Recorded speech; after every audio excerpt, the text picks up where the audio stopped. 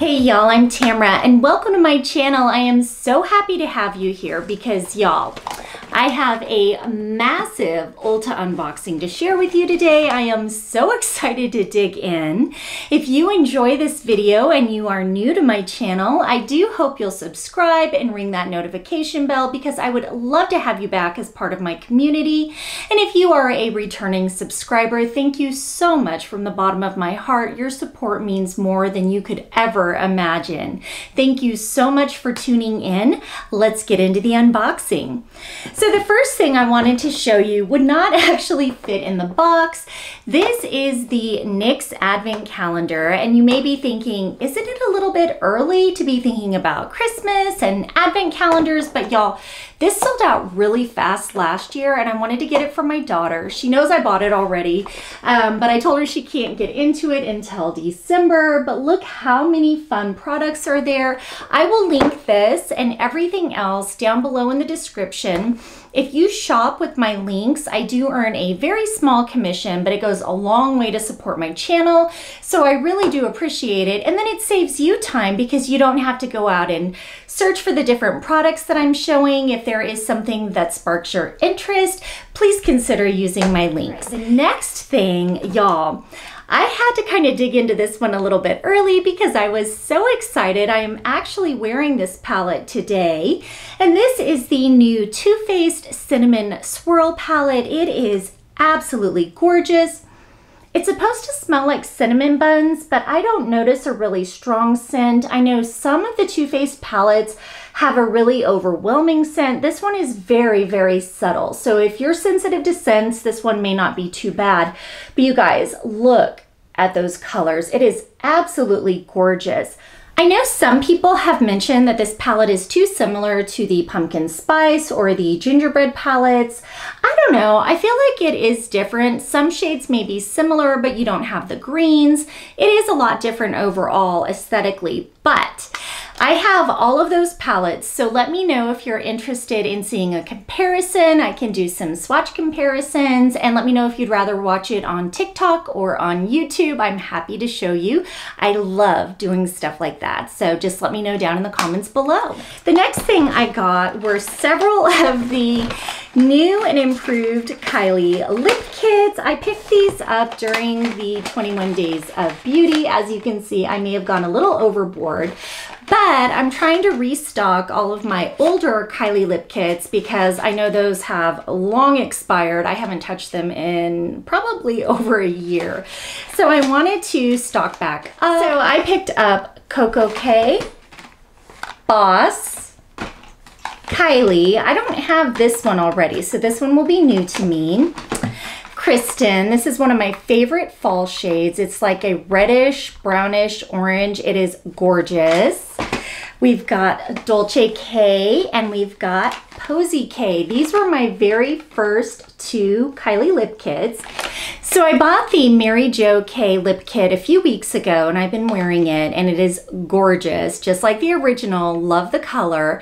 But I will tell you that the formula of the new lip kits, which are now supposed to be clean and I believe vegan, they do not have that amazing cupcake smell like the original lip kits. I know, that was one of my favorite things about the original lip kits, but they still work really well. They are long lasting. They do go on sticky. So I noticed that they're very sticky in the beginning, but then once they dry down, they're very comfortable to wear.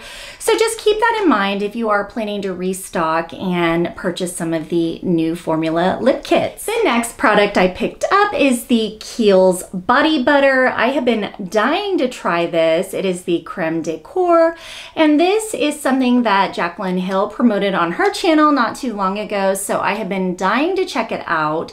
It is a little pricey for a body butter, but I figured, you know what, I would try it, I'd give it a review, I'd let y'all know what I think, and I am anxious to dig in. Speaking of Jaclyn Hill, I did pick up her new Rouge Romance blush palette. This is absolutely beautiful. I am so excited to dig into it. How pretty is that packaging? Absolutely gorgeous. I could not resist it. I also picked up one of her highlighters in the shade Iced. Okay, let's appreciate that packaging and how gorgeous is that? I cannot wait to wear this one too. And then I also picked up one of the loose highlighters in the shade Balm. I love this beautiful minimal metallic finish. And it's got the little shaker inside.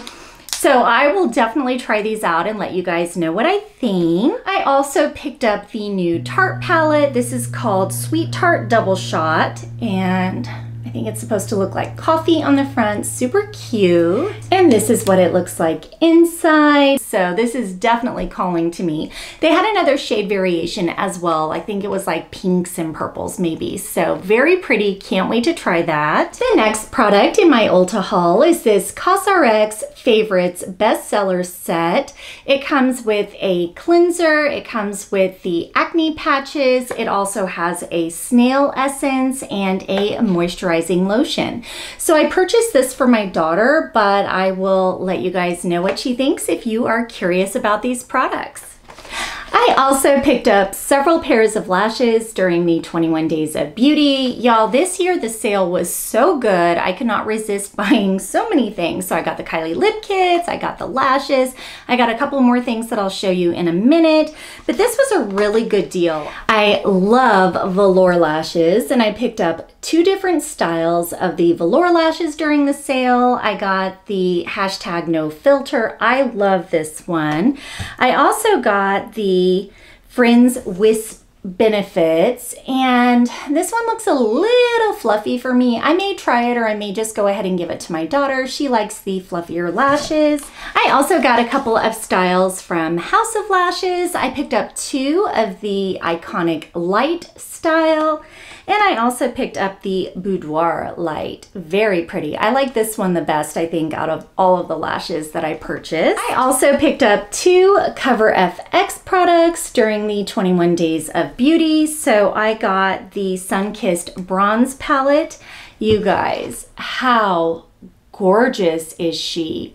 absolutely beautiful. And then I also picked up the blush palette in Mojave Mauve and it is so pretty. I also wanted to get the light pink. I have been trying to get my hands on that every time it goes on sale, but it sells out way too fast. I think it's called Peony. I just may have to go ahead and pay full price because I really want to add it to my collection. I also purchased a MAC lipstick as part of 21 Days of Beauty. This is the shade Russian Red. I know I have it somewhere, but I could not find it, and I figured at half off, might as well replenish it. The one I have is probably old and expired anyways, so really excited to pick that up. I love MAC lipsticks. I also got the Lanolips Banana Balm. I have been wanting to try this forever. I love anything with banana flavor and scent, so I've heard really good things about this new line, and this one was super intriguing to me. And y'all, I totally forgot to show you this when I showed you the Cinnamon Swirl palette, but I picked up the Melted Matte Lipstick in Cinnamon Bun, and I am so excited to try that. That is just such a gorgeous fall nude shade. I also picked up this little NYX trio of butter lip glosses. I love this gloss formula so much. And this is such a cute little mini package. This would even be really fun as like a stocking stuffer if you're thinking ahead to the holidays. Speaking of NYX butter glosses, I also picked up a full size in one of the brand new shades. This one is called Spiked Toffee, and that is just the most gorgeous fall shade. I could not resist it. I also got a backup of my beloved Hourglass Arch Brow Pencil, and this is, as you know, my all-time favorite. The color I use is Warm Blonde. I have not yet been able to find a suitable dupe for it, but I am definitely on the hunt. I also picked up a Maybelline Age Rewind Eraser Concealer. I have not had this in my stash in a while, and I thought it was way way overdue for me to restock this. It is one of my favorite concealers. I love the sponge applicator and it covers everything dark circles blemishes whatever. This is an amazing concealer and i'm so happy to have it again. I also got my hands on the physicians formula butter cake bronzer. I have been seeing this everywhere. It is in the shade chocolate and it smells like chocolate cake. It does not have that normal kind of coconut oil type scent, but it smells absolutely delicious and I cannot wait to try it. The next product I picked up is the Kopari Starry Eyes Balm and I'm hoping this is a dupe for my Holy Grail Becca Anti-Fatigue Under Eye Balm. I don't know. The other one I used from Becca is green. I did restock a couple of those before they went out of business. I know that Smashbox picked up a few of their products. I'm really hoping they bring back that anti-fatigue under eye primer in the future. But in the meantime, I will see if this is a good dupe. Hopefully it will help to detract from some of the dark circles and puffiness under my eyes. I also picked up a backup of my Urban Decay Primer Potion. This is my holy grail. I use this as an eye primer under everything and it works like a charm. It helps keep my eyeshadow on all day. It prevents it from creasing. It is totally a game changer. I also picked up some of my Almay eye makeup remover wipes. These are so good. I always have them on hand. Found one more makeup product. This is the Laura Mercier Secret brightening powder for under eyes. I love it so much. I ran out of it recently and it really does make a big difference. I notice when I'm not wearing it. So happy to have another one finally. I did finally get my hands on the Tree Hut Watermelon Shea Scrub. I know this is really more of a summer scent than fall, but y'all, it was sold out for most of the summer. I don't usually go through body scrubs very fast, so this may be in my cabinet until next spring. At the rate I'm going, we will see, but it just looks so yummy, and I love how they have the little seeds in there super cute. I also picked up the Pacifica Watermelon Seed Body Butter. I am really excited about this. I hope it smells good like watermelon. I may use these in the winter. I mean, watermelon is more of a summer scent, but you know what? I love it. I'm happy to use it anytime. I also picked up a full size of the Nature Lab Tokyo Perfect Shine Clarifying Scalp Scrub. I am so excited. I think I got a small sample of this in my latest Ipsy bag but I'm always looking for a good scalp scrub and this one is at a very decent price point so I will give it a try and let you guys know what I think. My all-time favorite is Christophe Robin but that one is very pricey so I'm always looking for more affordable dupes. Another hair product I picked up is the L'Oreal Elvive 8 Second Wonder Water. I have heard so many good things about this. I have been dying to try it. So I put it in one of my hauls over the last month and I cannot wait to check it out. I got a backup of my beloved Soap and Glory Smoothie Star Body Butter.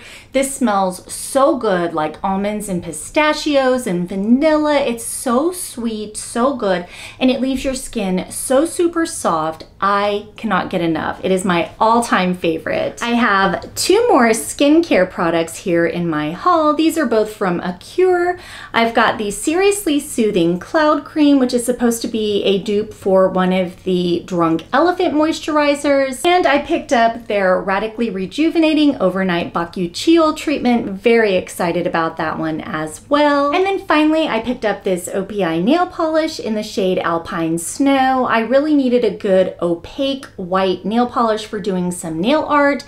I did not have one in my collection, believe it or not, so I had to add one to my last order. I also picked up this brush set. This was not from Ulta, and these are not specifically nail polish brushes.